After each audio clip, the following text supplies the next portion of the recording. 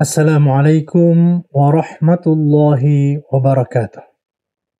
الحمد لله رب العالمين. أشهد أن لا إله إلا الله وحده لا شريك له. وأشهد أن محمدا عبده ورسوله لا نبي بعده. اللهم صل وسلم وبارك وانعم على سيدنا ونبينا ومولانا محمد وعلى آله وصحبه ومن تبعهم بإحسان إلى يوم الدين. سبحانك لا علم لنا إلا ما علمتنا إنك أنت العليم الحكيم ولا فهم لنا إلا ما فهمتنا إنك أنت الجواد الحليم فعلمنا ما ينفعنا وانفعنا بما علمتنا وزدنا علما والحمد لله رب العالمين Bapak Ibu pemirsa Ibaska TV yang kami muliakan Alhamdulillahi Rabbil Alamin pada kesempatan yang berbahagia ini, Allah Subhanahu wa Ta'ala memberikan kita kesehatan, keafiatan, umur panjang untuk hadir kembali dalam kajian kitab yang secara rutin kita lakukan pada Selasa malam seperti ini. Dan seperti biasanya pada malam hari ini insya Allah kita akan mengkaji lebih lanjut tentang kitab السياسة الشرعية في ضوء مقاصد الشريعة karya Dr. Yusuf Al-Qardawi. Tidak lama lagi, insya Allah kita akan menghadapi pesta demokrasi. Ada pemilihan umum, di mana setiap rakyat Indonesia dengan usia yang sudah ditetapkan oleh pemerintah 17 tahun ke atas itu akan memilih lima DPRD tingkat kabupaten, DPRD tingkat provinsi, DPR pusat, DPD, dan puncaknya adalah capres dan cawapres. Keikutsertaan kita dalam pemilihan umum ini akan sangat mempengaruhi bagaimana kehidupan bangsa Indonesia kita ke depan. Terlepas dari takdir Allah Subhanahu wa taala yang semua itu adalah pasti bagi kita bagi kita dan takdir Allah Subhanahu wa taala itu melekat bagi setiap makhluk-makhluknya kita memiliki hak suara kita memiliki peran untuk melakukan perubahan, melakukan perbaikan, membawa bangsa Indonesia ini menjadi jauh lebih baik. Peran itu melekat, tanggung jawab itu ada di setiap kita, dan orang yang tidak ikut serta dalam pesta pemilu ini, itu berarti dia abai dengan kehidupan negaranya, kehidupan masyarakatnya. Bapak Ibu sekalian yang dimuliakan Allah, apa bedanya siasah syariah dengan siasah uh, konvensional? Apa bedanya politik Islam dengan politik kebangsaan atau politik nasional yang tidak berlandaskan Islam? Yang paling membedakan dari sekian perbedaan-perbedaan yang lainnya, ada beberapa hal. Yang pertama, yang membedakan adalah ar-rabbaniyah. Sifat politik Islam yang memiliki karakter robbani. Apa itu robbani?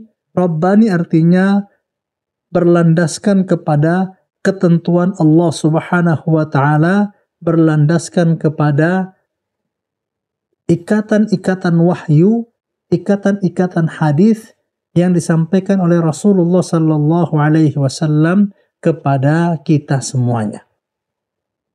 Ar-Rabbaniyah ini melingkupi dua hal, yaitu Rabbaniyatul Masdar dan Rabbaniyatul Ghayati wal Wijhah. Rabbaniyatul masdar artinya politik Islam atau siasah syariah ini dari segi sumber adalah berasal dari Al-Quran, berasal dari Sunnah, berasal dari nilai-nilai universal, akhlak-akhlak mulia yang terkandung dalam Al-Quran dan As-Sunnah. Maka karena ini berasal dari Al-Quran, berasal dari Sunnah, sumbernya itu jelas. Sumbernya itu adalah kitab suci. Dan kitab suci itu benar-benar terjaga, benar-benar di uh, benar-benar diperhatikan oleh Allah Subhanahu wa taala sepanjang masa. Ar-Rabbaniyah. I'dilu huwa aqrabu taqwa. Berlaku adillah karena keadilan itu lebih dekat kepada ketakwaan. Nah, ini contoh bahwa adil itu merupakan perintah dari Allah Subhanahu wa taala. Ketika seseorang berbuat adil, maka di satu sisi dia sedang menjalankan hukum, dia sedang menjalankan aturan, di sisi lain dia sedang melaksanakan perintah dari Allah Subhanahu wa taala. Wala tufsidu fil ardi ba'da islahiha. Jangan melakukan kerusakan di muka bumi. Di satu sisi, dia menghindari kerusakan di tengah masyarakat sebagai baktinya kepada negara, sebagai pengabdiannya kepada masyarakatnya, sementara di sisi lainnya dengan menegakkan keadilan, menghindarkan kecurangan, menghindari kerusakan-kerusakan, maka dia sedang dalam posisi beribadah kepada Allah Subhanahu wa taala. Kemudian yang kedua adalah rabbaniyatul ghayah. Rabbaniyah secara tujuan. Jadi dalam politik Islam atau siasa syariah tujuannya tidak sekedar untuk mendapatkan kemakmuran, tidak sekedar untuk mendapatkan uh, nama di kancah internasional, tetapi tujuannya adalah bagaimana membawa masyarakat ini benar-benar menjadi masyarakat yang tunduk patuh kepada penguasa tunduk patuh kepada Allah Subhanahu wa taala. Ada risalah tauhid yang dibawa dalam setiap gerakannya bagaimana mengajak manusia kepada kebaikan, bagaimana mengajak manusia kepada ilmu pengetahuan, bagaimana mengajak manusia mengenal Allah Subhanahu wa taala sebagai pencipta mereka. Jadi ada rabbaniyatul ghayah. Jadi ada rabbaniyatul masdar dari sisi sumber dia berasal dari Allah Subhanahu wa taala, dari segi tujuan dia juga seperti apa yang ditujukan oleh Allah Subhanahu wa taala menciptakan kondisi agar semua masyarakat masuk surga.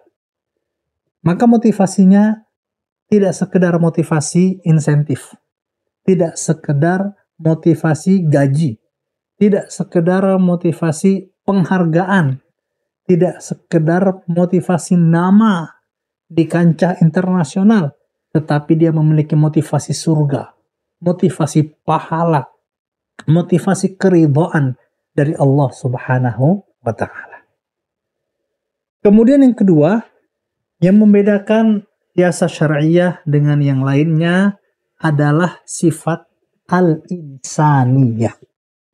Al-insaniyah artinya kemanusiaan. Sangat memperhatikan sisi-sisi keadilan, penghormatan kepada sesama manusia, kebebasan, kemerdekaan. Ini sangat diperhatikan dalam kehidupan manusia yang secara praktis terwujud pada lima maqasidus syariah atau lima tujuan utama dari keseluruhan syariat Islam ini yaitu hifdzuddin untuk menjaga agama.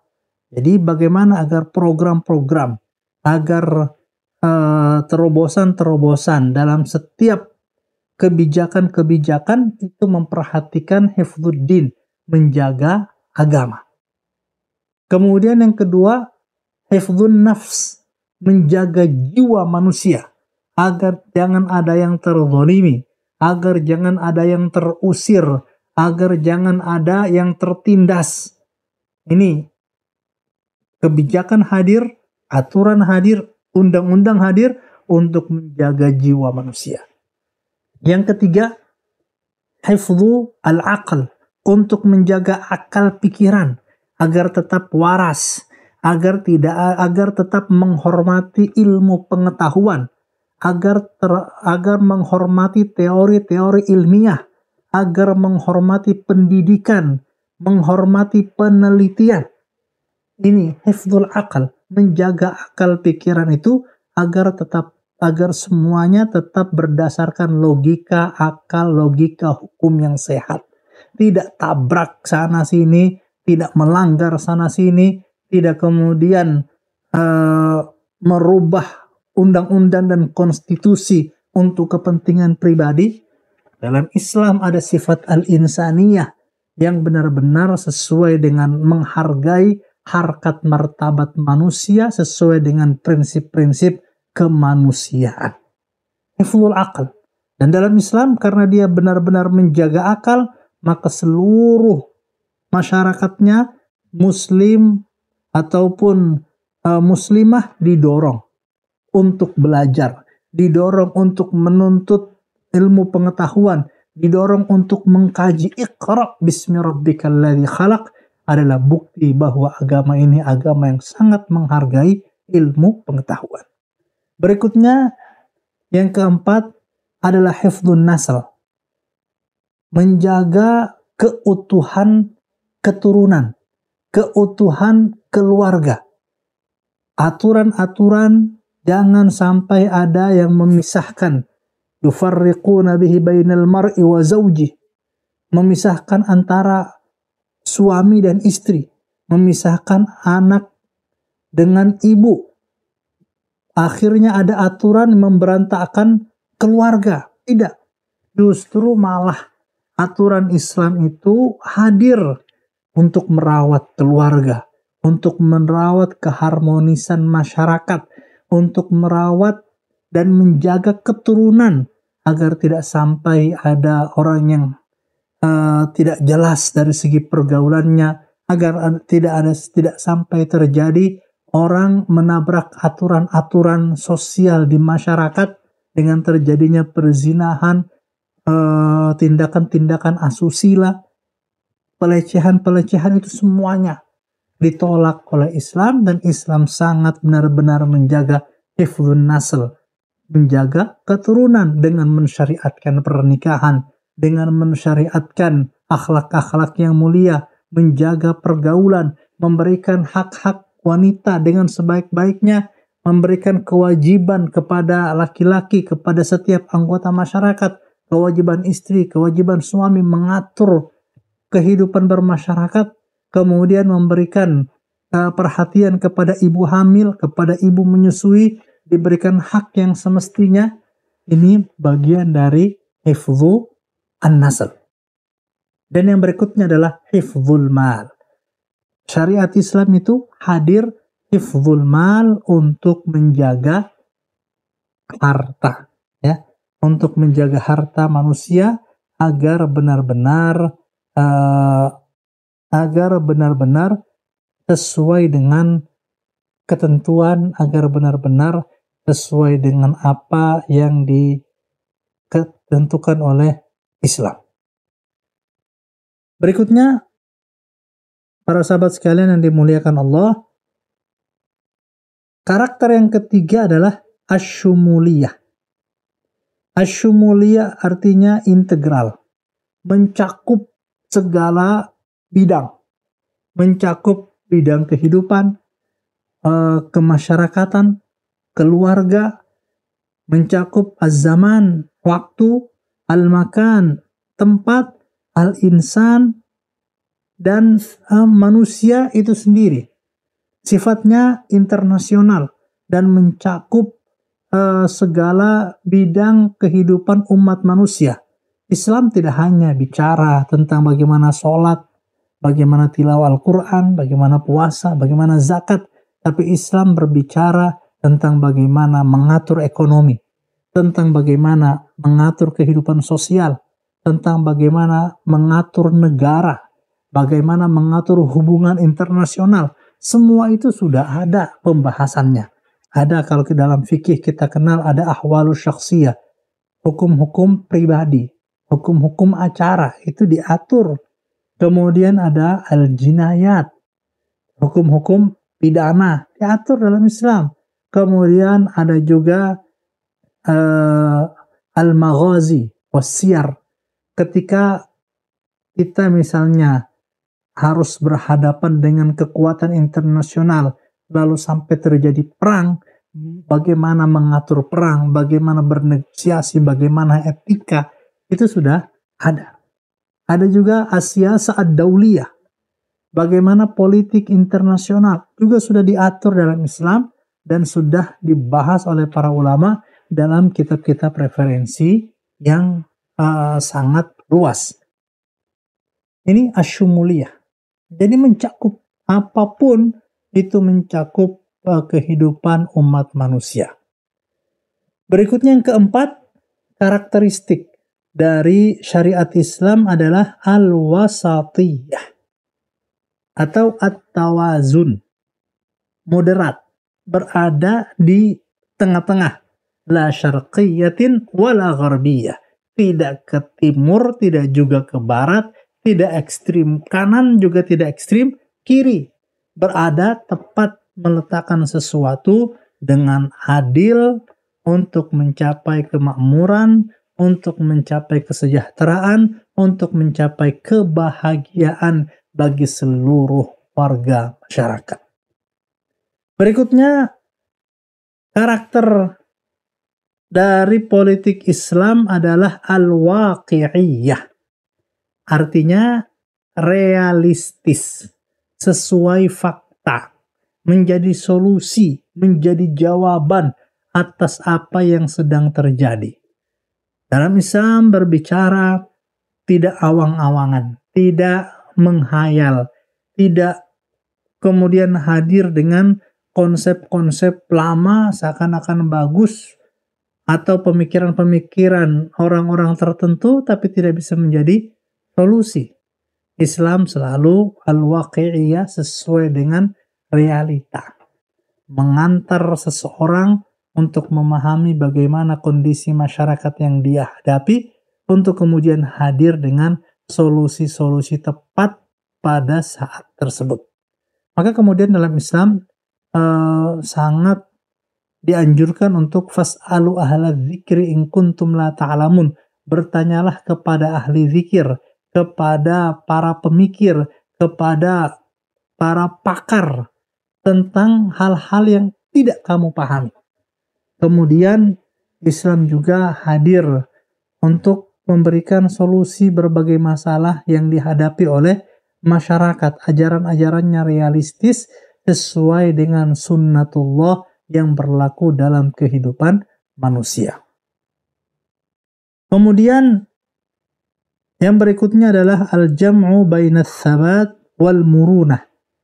Al-jam'u bainas sabat wal murunah mengumpulkan antara uh, kokoh permanen dan fleksibilitas. Kemungkinan untuk berubah-ubah dari setiap waktu, dari setiap keadaan. Dalam Islam, kalau soal etika, soal nilai, tidak ada toleransi. Itu harus tetap betul-betul diperhatikan.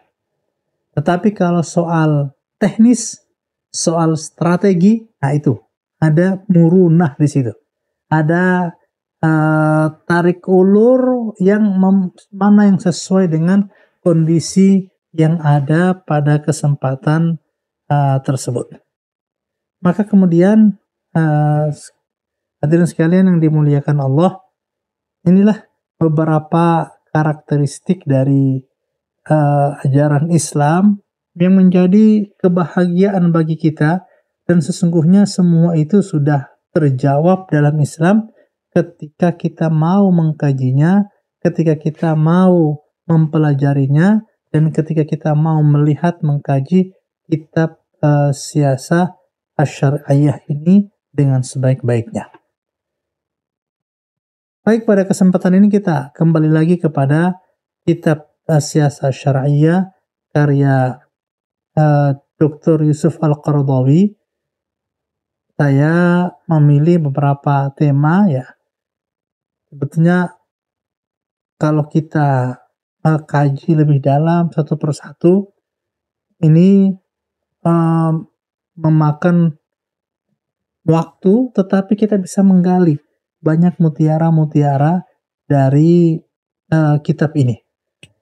Imam Al-Ghazali, uh, Imam Dr. Yusuf Al-Qardawi menyatakan bahwa dalam siasat syariah ada beberapa karakter hukum yang dijadikan sebagai dasar, sebagai panduan dalam membuat keputusan.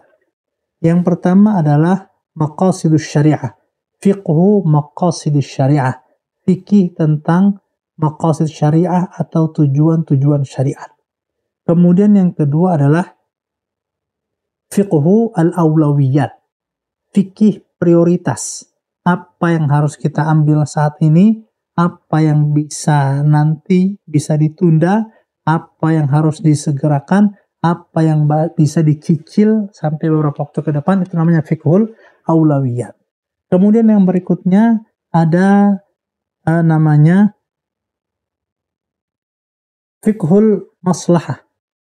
Fikih kemaslahatan. Ya. Fikih atau fikhul tawazun. Fikih perimbangan. Fikih perimbangan kemaslahatan. Maslahat saat ini kira-kira uh, timbangannya mana yang besar, mana yang kecil, maka kemudian kita mendahulukan maslahat maslahat yang besar. Begitu juga kalau ada bahaya ini satu ada bahaya kecil ini ada bahaya besar kita ambil bahaya kecil untuk menghindari bahaya besar. Ketika ada perimbangan antara maslahat dengan maslahat bahaya mudarat dengan mudarat maka bagaimana cara jalan keluar uh, untuk tidak sampai jatuh kepada maslahat dan tidak sampai jatuh kepada mudarat dan tidak kehilangan maslahat itu juga diatur dalam kajian fikhu at-tawazun. Berikutnya ada namanya fikhu taghyir, fikih perubahan. Bahwa dalam Islam perubahan itu tidak serta-merta. Bahwa dalam Islam perubahan itu harus ada langkah-langkah yang ditempuh. Dan itu dikaji dalam fikhu taghyir yang disebutkan oleh Dr. Yusuf Al-Qaradawi dalam buku ini. Ini bisa kita lihat ya, kita baca secara singkat saja bahwa uh, dalam memahami makosid syariah itu kaum muslimin terbagi tiga condor, condong cenderung uh, kepada tiga corak pemikiran. Ada yang satu namanya uh, madrasatu al-zahiriyah al-judud neo-zohiriyah gitu ya. Orang yang memahami ayat-ayat Al-Quran itu dengan letterlek. Bahkan sebagian ada yang tidak mengakui konsep maqasid syariah ini nggak ada. Maqasid syariah itu taati gatuk gitu ya. Maqasid syariah ini itu hanya asalnya pikiran-pikiran manusia ya semuanya ibadah, semuanya ketundukan, semuanya adalah pengabdian kepada Allah Subhanahu wa taala, tidak ada maqasid syariah. Nah, ini ada beberapa uh, mazhab atau beberapa uh, pentolan-pentolannya yang ya mereka tidak mau menerima ada perubahan-perubahan dalam kehidupan masyarakat. Kemudian ada juga yang kedua adalah madrasah al-liberaliyah uh, corak pemikiran liberal. Pokoknya semuanya ditafsirkan maqasid syariah. Semuanya ditafsir karena ini maslahat, maka itu sesuai maqasid syariah. Padahal belum tentu. Ya. Mereka nggak repotnya itu tidak lagi memperhatikan ayat, tidak lagi memperhatikan hadis dan mengatasnamakan pemikiran yang mereka miliki itu sebagai maqasid syariah padahal tidak ada landasannya dari ayat-ayat atau dalil-dalil syar'i. Sementara corak yang ketiga adalah al-wasatiyah, yang pertengahan antara zahiriyah dengan yang liberaliyah. Dia tidak jumut, tidak uh, menolak perubahan-perubahan, tidak menolak adanya perkembangan-perkembangan hukum, tetapi dia juga tidak sampai kebablasan seperti orang liberal yang tidak lagi menghormati ayat-ayat, tidak lagi menghormati syariat-syariat, tidak lagi menghormati uh, ijtihad para ulama terdahulu. Nah ini beberapa uh, zahiriyah. Dr. Yusuf Al-Qardawi ya, Dr. Yusuf Al-Qardawi di sini beliau uh, menyampaikan qiyamus syariah ala riayatil masalih. Qiyamus syariah ala riayatil masalih. Syariat ini tegak untuk memperhatikan kemaslahatan. Ibnu Qayyim al-Jauziyah menyatakan, ini ya saya lihatkan, Inna syari'ata mabnaha wa asasaha 'ala al-hukmi wa masalihil ibadi. Sesungguhnya syariat ini pilarnya, dasarnya adalah hukum dan memperhatikan kemaslahatan manusia baik ketika di dunia maupun ketika di akhirat wahia adlun kulluha wa rahmatun kulluha wa hikmatun kulluha dan semua adalah untuk keadilan semua adalah kasih sayang dan semua syariat yang Allah tetapkan itu mengandung hikmahnya. Nah, di sinilah kemudian karena ada pertimbangan maslahat atau kemanfaatan yang terus berubah di setiap waktu, maka ada namanya riayatul masalih memperhatikan kemaslahatan yang ada sesuai dengan kondisi yang sedang terjadi dan itulah kemam dituntut kemampuan seorang ulama untuk menyesuaikan fatwanya dengan tetap memperhatikan apa yang sedang terjadi apa yang sedang berkembang di tengah masyarakat.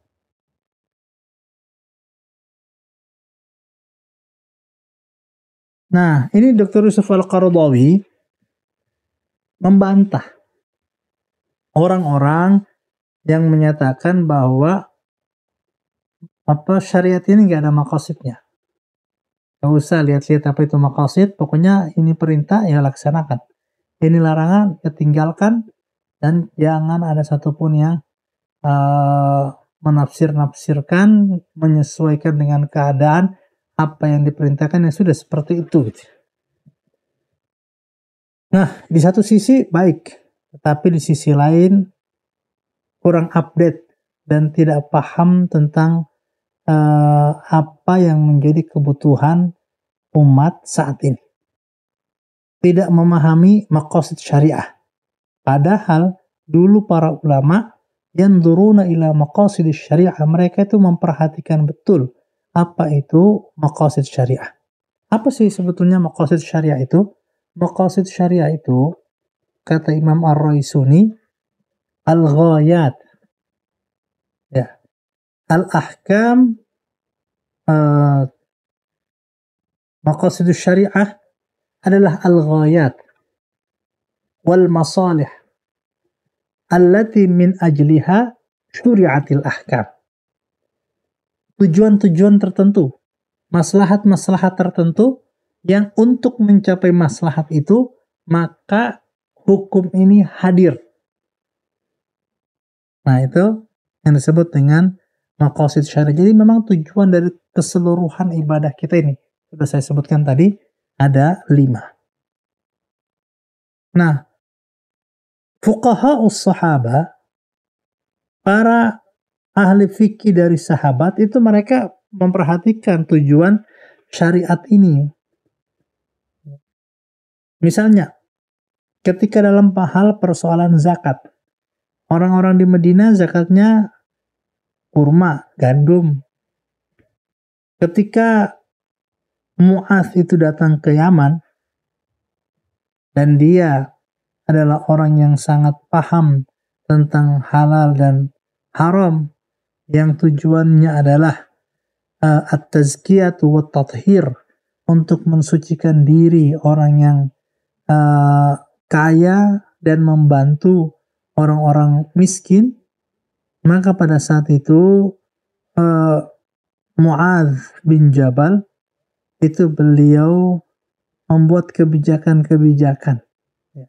membuat kebijakan-kebijakan untuk mempusatkan zakat itu di Yaman ya dengan mengambil nilai uang dari zakat tersebut.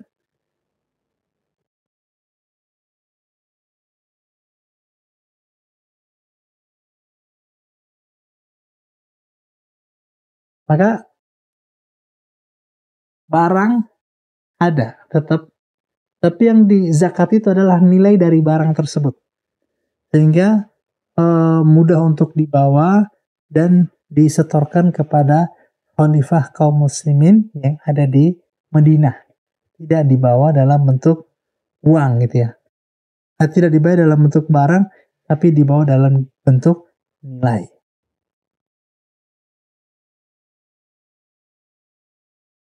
Nah ini ada beberapa uh, makosid Umar Utsman bin Affan misalnya awalnya dulu zaman Rasulullah itu unta dibiarkan jalan ke mana-mana karena untuk menjaga ketertiban, uh, menjaga kehidupan masyarakat, kehidupan manusia, akhirnya unta-unta tadi ditertibkan gitu ya. Unta-unta tadi ditertibkan tujuannya apa? Tujuannya supaya uh, bisa menghadirkan kedamaian di tengah-tengah masyarakat.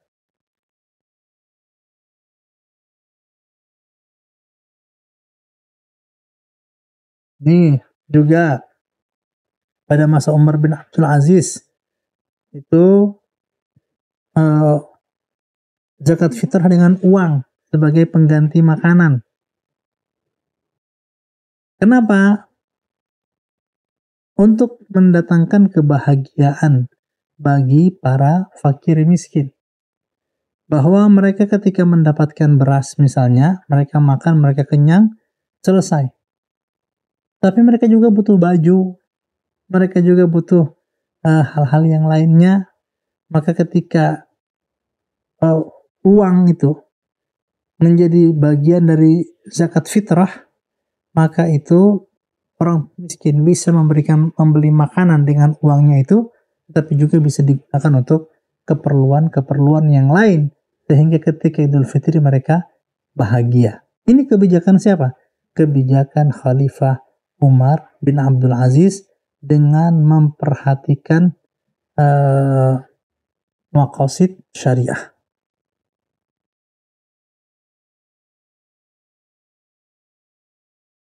Ini Ibnu Hazm ini memang eh, sangat letterlek ya. Sangat letterlek. Sehingga apa kata hadis begitu? Ya begitu. Contohnya Nabi Shallallahu Alaihi Wasallam pernah bersabda la yabulanna ahadukum fil ma'id dami daim alladhi la yajri thumma yaghtasilu minhu janganlah kalian tipis, buang air kecil di air yang tergenang dan tidak mengalir kemudian mandi di situ. Ada kolam, tipis di situ, mandi di situ gitu ya. Atau kemudian wudhu lagi di situ. Kalau sudah soal wudhu, wah itu sudah haram itu. Dan Ibnu Hazm itu menyatakan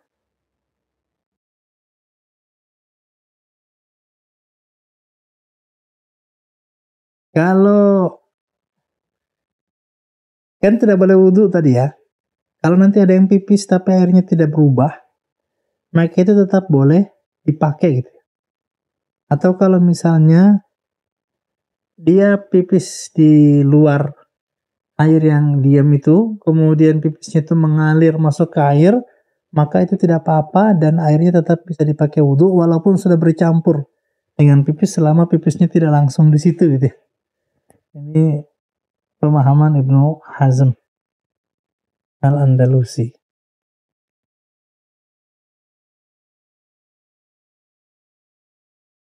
Kemudian banyak lagi ya ini contoh-contohnya. Dan mereka kenapa hadir dengan pendapat-pendapat yang uh, aneh seperti ini kadang-kadang kaku gitu ya dan keras tidak memperkarena kenapa? Karena mereka tidak perhatikan makosid syariah. Karena mereka tidak memperhatikan dengan makosid syariah dan ketika kita bisa tahu tentang makosid syariah ini maka mudah sekali untuk mewujudkan makosid syariah itu dalam program-program. Nah sekarang kita nah, silahkan ya bisa memperhatikan program-program dari para capres dan cawapres dan semuanya sudah terpampang di depan mata masing-masing punya uh, visi dan delapan misi unggulan. Semuanya delapan. Karena memang akan merebutkan presiden ke-8 gitu ya. Ada delapan visi misi masing-masing yang kita pun bisa baca sebetulnya tentang apa yang akan dilakukan oleh para calon-calon presiden dan pres ini atau wakil presiden ini ke depan. Nah, kita tinggal melihat mana kira-kira yang bisa uh, melindungi agama, melindungi jiwa, melindungi akal pikiran, melindungi keturunan dan keharmonisan keluarga, dan yang berikutnya adalah melindungi harta. Masyarakat dengan memberikan lapangan pekerjaan, dengan mengatur undang-undang uh, untuk para pekerja dengan memperhatikan pendidikan agraria, kemudian uh, kehidupan sosial masyarakat, kesehatan. Nah ini semuanya ini kita bisa lihat ya, kita bisa lihat mana yang paling sesuai dengan maqasidus syariah. Bapak Ibu jemaah sekalian yang dimuliakan Allah, banyak ya kajian atau pembahasan tentang ini dan nanti insya Allah uh, kita akan lanjutkan lagi pada pekan berikutnya. Pada kesempatan ini, Alhamdulillah kita sudah membahas tentang karakter politik Islam yang menjadikan dia istimewa. Kemudian kita juga sudah membahas uh, bahwa politik Islam itu sangat memperhatikan. Yang membedakan adalah robaniyah dia sesuai ketentuan Allah Subhanahu wa taala dari segi dasar maupun tujuan. Insaniyah dia sangat memperhatikan kemanusiaan sisi-sisi humanisme dalam kehidupan kemudian sangat memperhatikan uh, Asyumuliyah. Mencakup semua bidang. Kemudian al-waqi'iyah. Al-waqi'iyah itu artinya realistis sesuai fakta dan keputusan-keputusannya itu tidak jauh-jauh dari ketentuan Allah Subhanahu wa taala dan berikutnya adalah al-jam'u bainas sabat wal murunah mengumpulkan antara hal-hal yang sifatnya sabat tetap permanen dengan hal-hal yang sifatnya fleksibel dan mudah berubah dari waktu ke waktu tetapi diatur oleh nilai-nilai. Ya perubahan boleh asal tidak melanggar nilai menabrak nilai yaitu nilai-nilai keislaman nilai-nilai kemanusiaan kemudian juga tidak melanggar nilai-nilai akhlak dan moral. Ini uh, merupakan bagian dari biasa syariah. Saya kira demikian dulu ya Bapak Ibu semuanya. Saya mohon maaf atas segala kesalahan, kekhilafan, kekurangan. Dan kita berdoa kepada Allah Subhanahu wa taala semoga kita bisa mengikuti pilpres dengan baik, dengan aman, dengan sentosa, kita bisa melihat, baca visi misi, rekam jejak, kita bisa melihat bagaimana kinerja dari para uh, wakil rakyat kita, calon wakil rakyat kita, calon capres dan cawapres sehingga kemudian kita bisa mengambil keputusan untuk berpartisipasi aktif, ikut bertanggung jawab atas perubahan menuju ke arah yang lebih baik dari bangsa kita ini. Inna Allah la yughayyir ma biqaumin hatta yughayyiru ma bi anfusihim. Sesungguhnya Allah tidak akan mengubah suatu nasib suatu kaum kecuali mereka berjuang bersungguh-sungguh untuk mengubahnya. Semua ada di tangan Allah Subhanahu wa taala.